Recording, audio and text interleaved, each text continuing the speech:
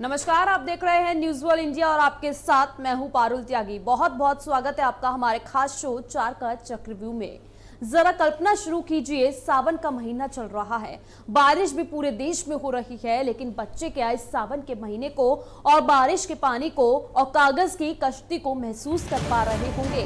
क्या भारत वाकई डिजिटल हो गया है? क्या भारत में एजुकेशन पूरी तरह से ऑनलाइन हो गई है? या फिर हमने कोई इंफ्रास्ट्रक्चर इससे पहले एजुकेशन का बनाया ही नहीं? तो कोविड काल में संकट, जब घरों में कैद रहने का गया तो स्कूलों की चौकट पर जाने के लिए बच्चे तरसते रह गए। लेकिन अब तो करीब एक बरस और पाँच महीने बीत चुके हैं और इतनी लंबी, लंबे ही जरा कल्पना कीजिए, इस देश में कितनी बड़ी तादाद में बच्चे घरों में ही कैद रहे। और अभी भी क्योंकि हमारे पास कोई इंफ्रास्ट्रक्चर नहीं है, हमने कभी ध्यान ही नहीं दिया कि किसी भी मुश्किल वक्त में प्रोटोकॉल के तहत बच्चों का विकास कैसे और किस दिशा में होना चाहिए। इसके लिए हमारे पास बजट भी नहीं है। बच्चों के सत्रह महीने बीत गए और वो भी ऐसे मौके पर जब भारत सरकार की और बच्चों का उल्लास, बच्चों का उत्साह और बच्चों की ज़िंदगी जीने के तरीके को पूछ में पिरोया गया। यूरोप के कई देश भारत में समा जाए, इतनी बड़ी तादाद में यहाँ के बच्चे स्कूल जाते हैं। लेकिन सब चीज़ों पर ब्रेक लग चुका है।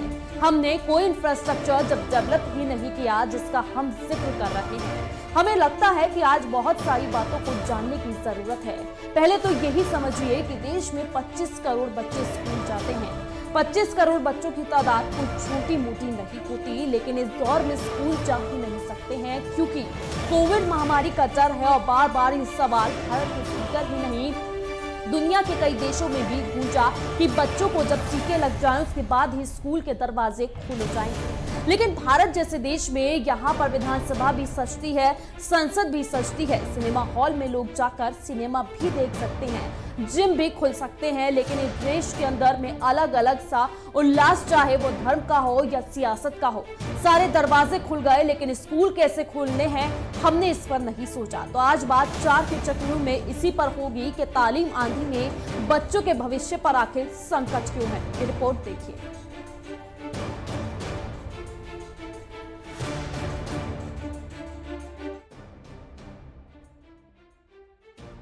कोविड महामारी का सबसे गहन प्रभाव देश की शिक्षा व्यवस्था के संचालन को लेकर दिखा, जो मानव संसाधन के निर्माण के साथ ही युवा भारत की साम्राज्य से जुड़ा हुआ है। महामारी के चलते स्वास्थ्य सुरक्षा के नज़रिए से तत्कालिक कदम के रूप में शैक्षणिक संस्थानों को प्रत्यक्ष भौतिक संचालन से मना कर दिया गया। फिर कक्षा की पढ़ाई और परीक्षाएँ जहाँ भी संभव थी, ऑनलाइन के माध्यम से शुरू की गई। करीब डेढ़ साल से ये सब जारी है। इसमें शक नहीं कि सामाजिक और भावनात्मक विकास के लिए शिक्षा केंद्र में छात्र की भौतिक उपस्थिति महत्वपूर्ण होती है, पर महामारी के चलते स्कूल की सूरत ही बदल गई। तमाम छात्र ऑनलाइन प्रवेश, ऑनलाइन शिक्षा और ऑनलाइन परीक्षा को अधीन हो चले। शिक्षा छात्र और अध्यापक से भौतिक रूप से दूर तो हुए ही उनके विकल्प में मोबाइल या लैपटॉप की स्क्रीन पर लगातार घंटों बैठने से परेशानियाँ भी बढ़ने लगी। सच तो ये है कि शिक्षा पाने का प्रेरणादायी अनुभव खत्म सा होने लगा है। जिस प्रकार से नौवीं, दसवीं और ग्यारहवीं कक्षा के जो जो छात्र है, अभी फ़िलहाल जो कोरोना गाइडलाइंस के हिसाब से स्कूलें खुल गई है तो फ़िलहाल अभी कोरोना की जो गाइडलाइंस के हिसाब से, फिर भी कोरोना से जो उनके पेरेंट्स है वो डर रहे हैं। तीसरी लहर से भी डर रहे हैं कि भाई तीसरी लहर आने वाली है। तो ऐसा महसूस कर रहे हैं। तो क्या अभी भी फ़िलहाल पेरेंट्स स्कूल पे उनके बच्चों को भेज रहे हैं कि नहीं भेज रहे हैं? नहीं हमारे स्कूल में तो ऐसे सिक्सटी परसेंट बच्चे आ रहे हैं अभी।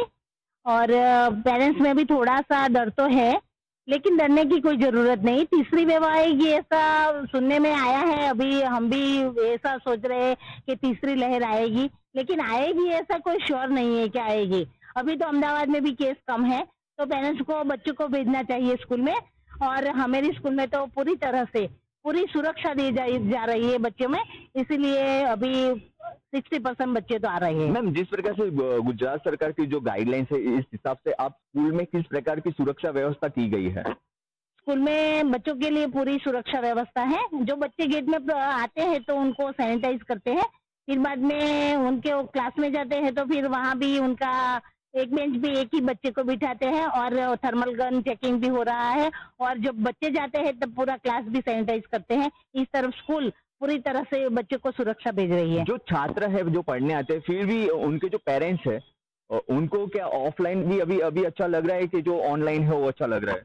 नहीं अभी तो पेरेंट्स भी ऐसा चाहते हैं कि हमारा बच्चा ऑफलाइन पढ़े और स्कूल भी ऐसा ही चाहती है कि बच्चे ऑफलाइन ही पढ़े। लेकिन अभी कोई कोई पेरेंट्स में ऐसा डर है कि स्कूल जाएँगे बच्चे तो कोरोना हो जाएगा ऐसा हो जाएगा ऐसा हो जाएगा। इसीलिए हमेरा ऑनलाइन और ऑफलाइन दोनों ही अभी चल रहा है। काफ़ी सराहनीय बात की है कि जिस प्रकार से को, कोरोना की जो तीसरी लहर का जो अभी महसूस हो रही है कि कोरोना की तीसरी लहर आएगी और काफ़ी पेरेंट्सों में ये कोरोना की तीसरी लहर से लेके काफ़ी चिंता है और भय है। इसके लिए जो स्कूल खुल गई है फिर भी स्कूल में अभी फ़िलहाल जो संख्या है वो कम आ रही है। लेकिन फिर फिर भी जो नौवीं, दसवीं, ग्यारहवीं की जो कक्षा के जो छात्र है, वो फ़िलहाल आ रहे हैं पढ़ने के लिए। लेकिन जिस प्रकार से जो कामेश्वर स्कूल है, उनकी जो सुरक्षा व्यवस्था है, जो कोविड गाइडलाइंस के हिसाब से सरकार की जो गाइडलाइंस दी गई है, उसके व्यवस्था जो है, उनमें जब एंटर होते जो बच्चे उनमें, उनको सैनिटाइज किया जाता है। जो अंदर जाते हैं बच्चे तो उनको एक ही क्लास में एक बेंच पे एक ही बच्चे को बिठाया जाता है। इस प्रकार से जो सोशल डिस्टेंस है, पालन किया जाता है। जो कामेश्वर स्कूल है, वो काफ़ी, जो गाइड जो कोरोना गाइडलाइन है, उनका पूरा पालन कर रहे हैं। दरअसल ऑनलाइन के माध्यम पर ऑनलाइन कक्षा की प्रकृति में अध्यापक, छात्र के बीच होने वाली असंभाविक और असहज प्रक्रिया होती है। उसमें विद्यार्थी की सक्रिय भागीदारी और शिक्षक द्वारा दिए जाने वाले फीडबैक प्रमित होते हैं। लिहाजा विद्यार्थी की प्रतिभा को प्रदर्शित करने के अवसर पर कम होते जाते हैं। वहीं वास्तविक परिस्थितियों में शिक्षक के समक्ष विद्यार्थियों की उपस्थिति होने में अनुशासन के अभ्यास की भी अवसर मिलता है। इससे एक सामाजिक परिस्थिति बनती है जो प्रत्यक्ष और अप्रत्यक्ष रूप से नैतिकता का पाठ पढ़ाती है। इसके उलट ऑनलाइन कक्षा में कोताही की गुंजाइश ज़्यादा हो गई है। इन सबसे शिक्षा की स्वीकृत परिभाषा, ढांचा और प्रक्रिया ही बदल गई। बहरहाल, ये तकनीकी बदलाव सिर्फ़ डिलीवरी के तरीके से ही नहीं जुड़ा है, बल्कि दुनिया और खुद से जुड़ने और अनुभव करने के नज़रिए से भी जुड़ा हुआ है। सीखने की प्रक्रिया को कंप्यूटर के कीबोर्ड को ऑपरेट करने तक सीमित करना विद्यार्थियों को सीखने शैलियों में विधिवता को भी अनदेखी कर रहा है। आज एक बंदा बनाया तकनीक नियंत्रित ढांचा उनके ऊपर थोप दिया गया है। उसी में बंद कर ही उनका सीखना पढ़ना हो रहा है। ऐसा करने से उनकी कल्पनाशीलता प्रयोग और सृजन के अवसर पर एक तरह से ग्रहण लग गया है। इन सब के बीच सूचना ही ज्ञान और अनुभव का पर्याय बनती जा रही है। हालाँकि ऐसे आशावादी लोग भी हैं जो अब ये विश्वास करने लगे हैं कि भविष्य में सब कुछ ऑनलाइन हो जाएगा। वो उसे ही एकमात्र विकल्प मान बैठे और देखा जाए तो ये कल्पना दूर ही है। इस तरह की सोच शिक्षा को उसके मुख्य प्रयोजन से दूर ले जाने वाली है।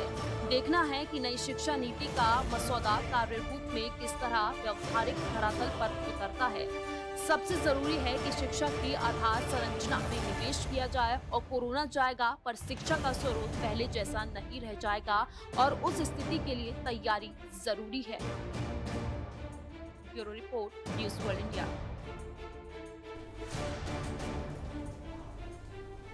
Delhi के स्कूल खुले या भी नहीं। ये सवाल स्टूडेंट्स और पेरेंट्स के दिमाग में घूम रहा है। ज़्यादातर पेरेंट्स का मानना है कि अभी स्कूल नहीं खुलने चाहिए, क्योंकि कोविड के केस अभी भी आ रहे हैं और बच्चे भी इससे संक्रमित हो रहे हैं। कई पेरेंट्स का मानना है कि स्कूल क्लासेस बारहवीं या सीनियर क्लासेस के लिए खोल दिए जाएँ, मगर छोटे बच्चों के लिए स्कूल अभी भी बंद रखना ज़रूरी है। कई पेरेंट्स चाहते हैं कि बच्चों को वैक्सीन लगने के बाद स्कूल खोले जाए तो कई का कहना है कि अभी चल रहा वैक्सीनेशन ही कम से कम अस्सी प्रतिशत तो हो वहीं दिल्ली सरकार भी स्कूल खोलने के बारे में विचार कर रही है और उनसे दिल्ली के पेरेंट्स, टीचर्स से सलाह भी मांग रही है। मगर कोविड की दूसरी लहर में बिगड़ते हालात देखने के बाद पेरेंट्स डरे हुए हैं। ये रिपोर्ट देखिए। स्कूल खोलें या नहीं इस सवाल को लेकर दिल्ली पेरेंट्स एसोसिएशन ने एक ऑनलाइन पोल भी कराया था। इसमें अब तक का रिज़ल्ट कहता है कि पिचासी फ़ीसदी से ऊपर पेरेंट्स नहीं चाहते कि अभी स्कूल खुले। एसोसिएशन के प्रेसिडेंट अपराजिता गौतम कहती हैं कि कोरोना की तीसरी लहर को देखते हुए सभी स्कूलों को खोलना बिल्कुल भी सुरक्षित नहीं है, क्योंकि दूसरी लहर में स्वास्थ्य सुविधाओं के अभाव को भी सभी ने देखा। ऊपर से सभी बच्चों की वैक्सीन भी नहीं आई है और अगर फिर भी सरकार स्कूल खोलना चाहती है तो पहले कोर्ट में बच्चों के स्वास्थ्य की सारी ज़िम्मेदारी उठाने को लेकर शपथ पत्र दे और इसे सार्वजनिक करे और अभिभावकों की राय वोट के ज़रिए मांगे।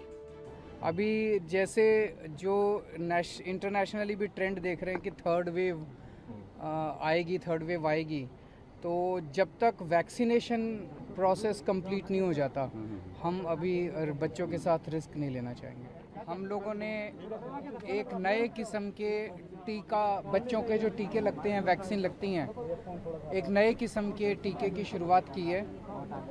अभी तक दिल्ली में 12 बीमारियों के लिए टीके बच्चों को लगाए जाते थे। आज से ये निमोनिया के लिए टीका लगाया जा रहा है। पाँच साल से कम उम्र के बच्चे निमोनिया की वजह से बच्चों की मृत्यु हो जाया करती थी।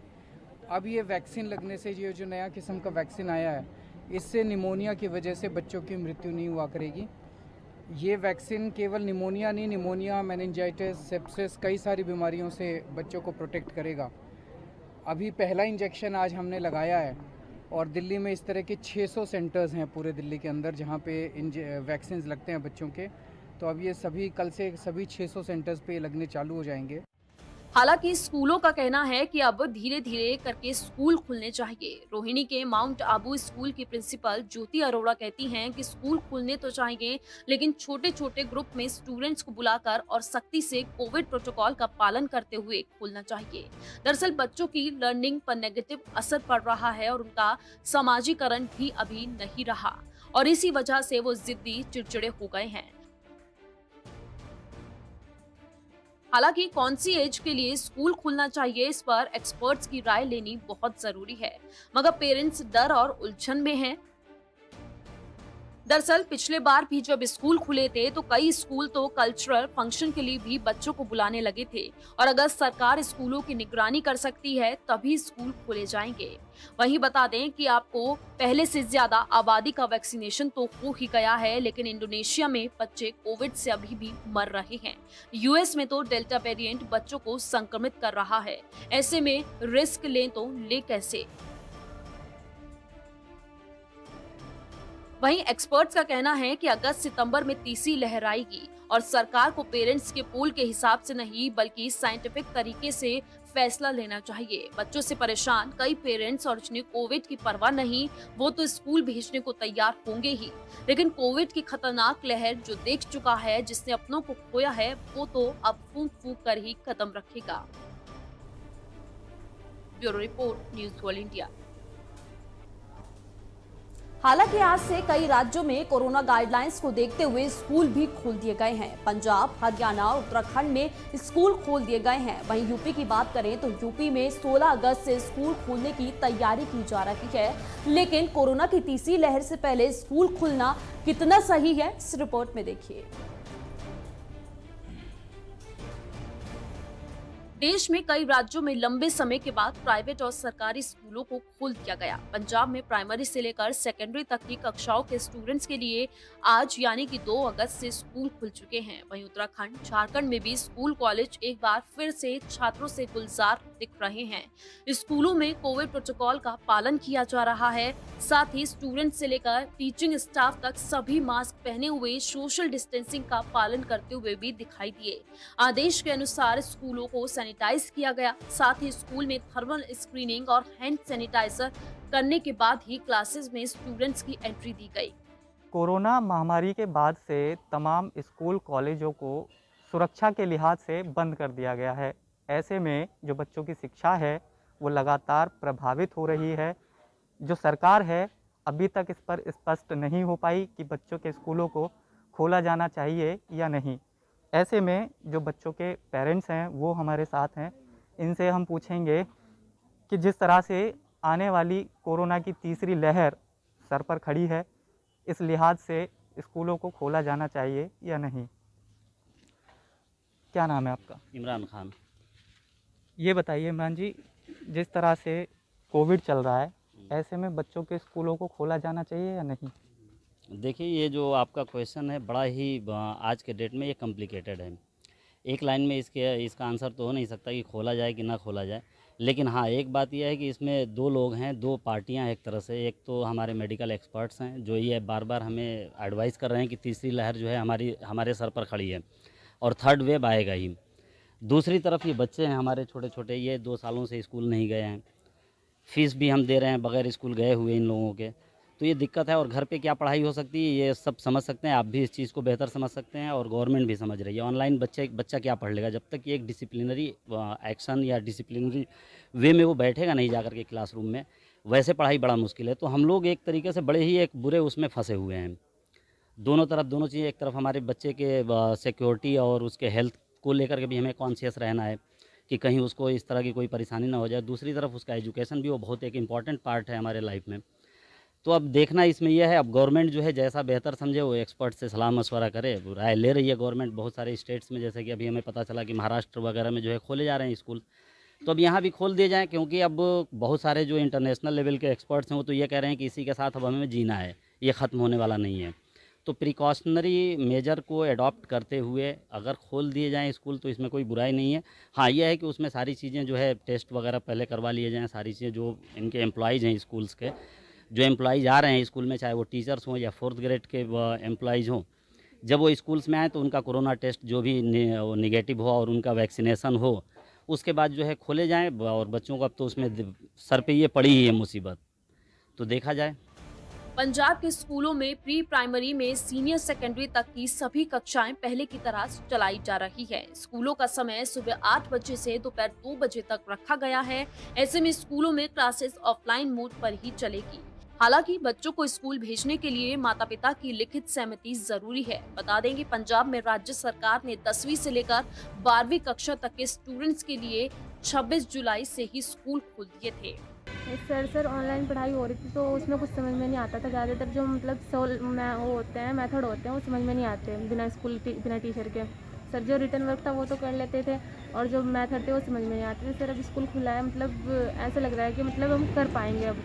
जब स्कूल बंद है तो समझ में कुछ आता नहीं था, सर बिना समझे फिर पेपर में भी दिक्कत आती है। अब सर समझाएँगे, सर तो फिर पेपर में भी हम कर पाएँगे। ऐसा लग रहा था कि मतलब कि इस बार नहीं हो पाएगा। बस थोड़ा ऐसा लग रहा था, ट्वेल्थ भी ऐसी लॉकडाउन में जाएगी और थोड़ा ये था, पढ़ाई में थोड़ी सी दिक्कत हो रही थी। ऑनलाइन समझ में नहीं आता कुछ चीज़ें। वो अब थोड़ा ऐसा लग रहा है कि स्कूल में डाउट क्लियर्स होंगे। और जो हमारे एग्ज़ाम होंगे उसमें कोई परेशानी नहीं आएगी।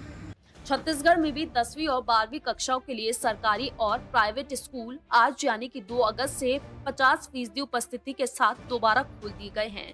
साथ ही इस साल कोरोना संक्रमण की दूसरी लहर के बीच मार्च में शुरू होने के बाद स्कूल और कॉलेजेस को फिर से बंद कर दिया था, लेकिन एक बार फिर से दसवीं और बारहवीं की ऑफलाइन क्लासेस शुरू कर दी गई हैं।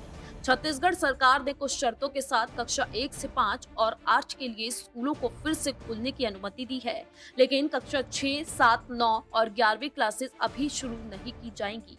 इसके अलावा जिन छात्र छात्राओं को कफ, सर्दी, बुखार की शिकायत होगी, उन्हें कक्षा में शामिल होने की इजाज़त नहीं दी गई है। वहीं उत्तराखंड में भी कक्षा नौवीं से बारहवीं तक के स्कूलों को 2 अगस्त से खोलने के आदेश दिए गए हैं, जबकि कक्षा छठी से लेकर आठवीं के स्कूलों को 16 अगस्त को खोला जाएगा। वहीं झारखंड में भी नौवीं से बारहवीं तक के छात्रों के लिए स्कूलों को खोल दिया गया है। ऐसा है सर कि पहले तो हमने सारे कमरे जो हैं, उनकी साफ़ सफ़ाई हुई है, उनको सैनिटाइज किया गया है। गेट पे उनकी थर्मल स्क्रीनिंग होगी, सैनिटाइज किया जाएगा और मास्क में होना चाहिए हर बच्चा। टीचर्स भी मास्क में होनी चाहिए। जो नहीं पहन के आएँगे, उन्हें मास्क उपलब्ध कराया जाएगा विद्यालय से। नाइन्थ से जो ट्वेल्थ है, वो चार घंटे की व्यवस्था की गई है उनके लिए। पढ़ाई की, बीच में कोई लंच नहीं होगा उनका। और सोशल डिस्टेंसिंग के हिसाब से प्रॉपर बिठाया जाएगा। ऑनलाइन, ऑफलाइन दोनों तरीके से जो बच्चे विद्यालय में आ चुके हैं, उनकी ऑफलाइन हम पढ़ाई कराएँगे ही। उसके साथ साथ हम उन्हें ऑनलाइन भी उनको मटेरियल सब कुछ भेजा जाएगा। ऑनलाइन भी उनकी क्लासेस होंगी। सीट छोड़ के बिठाएँगे सर हर बच्चे को एक सीट छोड़कर बिठाया जाएगा। उनको अपना डर निकालना चाहिए, भेजना चाहिए बच्चे को, लेकिन हम किसी भी बच्चे को बाध्य नहीं कर सकते आने के लिए। उन्हें अभिभावकों को बल्कि हमें सहमति पत्र देना होगा पहले कि हम अपने बच्चों को भेजने के लिए इच्छुक हैं। उनको बताया जाएगा कि प्रॉपर सोशल डिस्टेंसिंग से बच्चों को बिठाया जा रहा है और अगर फिर भी नहीं भेजना चाहेंगे तो उनकी वो व्यवस्था तो है ही ऑनलाइन वाली से। दरअसल कोरोना संबंधित गाइडलाइंस के अनुसार स्कूलों का सैनिटाइजेशन किया गया है। वहीं टीचर्स और स्टूडेंट्स के लिए मास्क लगाना भी अनिवार्य है। बता दें कि कोविड 19 महामारी की वजह से स्कूल पिछले लंबे समय से बंद थे। अब स्कूलों को खोलने के लिए कई राज्य सरकारों की ओर से दिशा निर्देश भी जारी कर दिए गए हैं, जो सभी सरकारी और प्राइवेट स्कूलों पर लागू होंगे। उत्तर प्रदेश में भी कोरोना संक्रमण की सुधरती स्थिति को देखते हुए बेसिक, माध्यमिक, उच्च शिक्षा, व्यवसायिक शिक्षण संस्थानों को खोलने की तैयारी करने के निर्देश दे दिए गए हैं। अगस्त में यूपी में स्कूल खोले जा सकते हैं और अभी तक ज़्यादातर राज्यों में ऑनलाइन कक्षाएँ जारी थी, लेकिन संक्रमण घटने के साथ ही राज्यों ने स्कूल खोलने का कदम उठा दिया है। इन आठ राज्यों में खुल चुके हैं स्कूल। महाराष्ट्र, यहाँ 15 जुलाई से उन इलाकों में कक्षा 8 से 12वीं तक के स्कूल खोल दिए गए, जहाँ संक्रमण के नए मामले नहीं आ रहे हैं। 23 जुलाई से 6 से कक्षा आठ के बच्चों के लिए स्कूल खुल गया और इससे पहले 16 जुलाई से नौवीं से 12वीं तक के लिए क्लासेस खुल गई थी।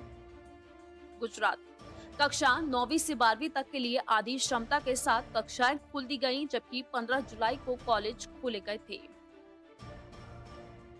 पुडुचेरी, कक्षा 9 से 12वीं तक की कक्षाएँ 16 जुलाई से खुल दी गई। कॉलेज और विश्वविद्यालय भी खुल गए, हालाँकि जाना अनिवार्य नहीं है। ओडिशा कक्षा दसवीं और बारहवीं के लिए बीते सोमवार को तीन महीने बाद स्कूल खोल दिए गए। कंटेनमेंट जोन के बाहर के स्कूल ही खोले जाएँगे। पंजाब यहाँ कक्षा 10, 11 और बारहवीं के लिए बीते सोमवार से कक्षाएँ खोल दी गई हैं। मध्य प्रदेश बीते सोमवार को यहाँ बारहवीं कक्षा के लिए स्कूल खोल दिए गए हालाँकि निजी स्कूल 5 अगस्त तक ऑफलाइन कक्षा खोलेंगे। बिहार 12 जुलाई से यहाँ कक्षा ग्यारहवीं और बारहवीं की कक्षाओं से लेकर कॉलेज और विश्वविद्यालयों को भी खोल दिया गया है और ये आधी क्षमता के साथ चलेंगे। Bureau report, news world India. देश में अर्थव्यवस्था और शिक्षा दो ऐसे महत्वपूर्ण सेक्टर हैं जिसे कोरोना संकट का सबसे ज़्यादा दंश झेलना पड़ा है। हालात सामान्य होने पर अर्थव्यवस्था जहाँ पटरी पर लौटने लगी थी, वहीं स्कूल कॉलेज खुलने से भी ऐसा लग रहा था कि शिक्षा व्यवस्था फिर से मज़बूत होगी। लेकिन संकट अभी पूरी तरह से चला भी नहीं था कि कोरोना की दूसरी लहर ने फिर से चिंता की लकीरें खींच दी थी। और दूसरी लहर के बाद एक बार जहाँ फिर से स्कूल खोलने पर विचार किया जा रहा है तो ऐसे में कोरोना की तीसरी लहर भी हमारे सामने खड़ी है।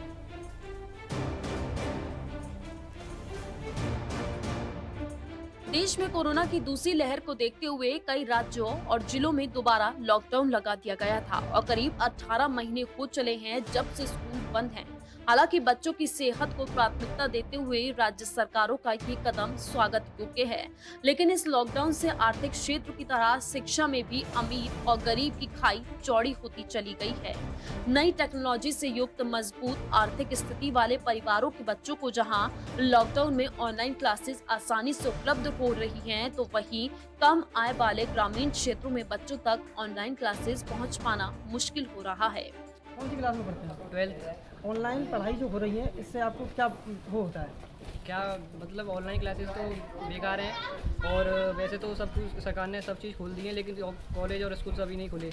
खुलने चाहिए आपको ऑनलाइन पढ़ने में क्या दिक्कत आती थी? ऑनलाइन पढ़ने में दिक्कत आती है छोटे से मोबाइल में पूरी स्क्रीन नहीं दिख पाती और गाँव में नेटवर्क भी नहीं आते तो बीच बीच में क्लासेस डिसमिस होती रहती हैं। अच्छा एक अगर किसी के पास एक ही मोबाइल है और घर में तीन बच्चे पढ़ने वाले तो वो कैसे पढ़ते होंगे? अब वो तो पढ़ ही नहीं पाते। क्लासेस सबकी एक टाइम होती है। पाँच पाँच छः क्लासेस होती है बच्चे की। मोबाइल एक ही होते हैं, क्योंकि पेरेंट्स अफोर्ड ही नहीं कर पाते। कम आय वाले कई ऐसे परिवार हैं जहाँ एंड्रॉइड फ़ोन की कमी की वजह से बच्चे ऑनलाइन क्लासेस करने से वंचित रह गए और पूरे लॉकडाउन के दौरान उनकी पढ़ाई छूट गई। आर्थिक स्थिति कमज़ोर होने के बावजूद शिक्षा के महत्व को प्राथमिकता देते हुए कुछ अभिभावकों ने ऐसे फ़ोन उपलब्ध भी कराए तो परिवार के किसी एक बच्चे को ही ये सुविधा मिल पाती थी। अन्य राज्यों की अपेक्षा केंद्र शासित प्रदेश जम्मू कश्मीर के बच्चों को इस दौरान दोहरी कठिनाइयों का सामना करना पड़ा है। दरअसल एक तरफ़ जहाँ लॉकडाउन से स्कूल बंद थे तो वहीं धारा 370 के हटने के बाद पूरे राज्य में केवल 2G के संचालन ने मोबाइल नेटवर्क की रफ्तार पर भी ब्रेक लगा रखा था। परिणाम स्वरूप ग्रामीण क्षेत्रों की बात तो दूर, अच्छी आर्थिक स्थिति वाले परिवारों और शहरी क्षेत्रों के बच्चों को भी ऑनलाइन क्लास करने में कठिनाइयों का सामना करना पड़ा था। कोरोना महामारी के चलते पूरे 11 महीने से ज़्यादा स्कूलों में ताले देखने को मिले हैं। बच्चों की पढ़ाई अस्त व्यस्त हो गई है। उन्होंने जो कुछ स्कूलों में सीखा था, वो भी वो भूल बैठे हैं। अब जबकि धीरे धीरे स्कूल खुलने शुरू हो गए हैं तो अभिभावकों के साथ साथ बच्चों में भी एक नई खुशी और उमंग देखने के लिए मिल रही है। बहरहाल कोरोना संकट के समय सरकार द्वारा किए जा रहे प्रयासों से लोगों को राहत तो मिली है, लेकिन जिस प्रकार से शिक्षा व्यवस्था चौपट हो गई है, उसकी भरपाई के लिए सभी को आगे आने की ज़रूरत है। शिक्षा विभाग जहाँ अपने स्तर के प्रयास कर रहा है, वहीं अभिभावक और समाज को भी इस दिशा में सोचने और बेहतर कदम उठाने की ज़रूरत है। ऑनलाइन के साथ साथ कोरोना के सभी नियमों का पालन करते हुए सामुदायिक कक्षाओं के संचालन करने की भी आवश्यकता है, ताकि बच्चों की रुकी हुई शिक्षा निर्बाध गति से चलती रहे, क्योंकि इस प्रकार किसी नए सुझावों पर यदि अमल नहीं किया गया तो आने वाले समय में बच्चों की पढ़ाई को जारी रख पाना मुश्किल हो सकता है। और जिस तरह से कोरोना की तीसरी लहर की आशंका जताई जा रही है, ऐसे में शिक्षा पर फिर से खतरे के बादल मंडराने लगे हैं। और अगर फिर से लॉकडाउन लगेगा तो शिक्षा व्यवस्था पर ग्रहण लगना निश्चिंत है। ज़रूरत है ऑनलाइन क्लासेस के विकल्पों को ढूँढने की, ताकि इस बार कोई भी बच्चा फ़ोन की कमी की वजह से शिक्षा जैसी बुनियादी आवश्यकताओं से वंचित न रह जाए। Bureau report, news world India. चार के चक्रियों में आज के लिए बस इतना ही। आप देखते रहिए न्यूज़ वर्ल्ड इंडिया।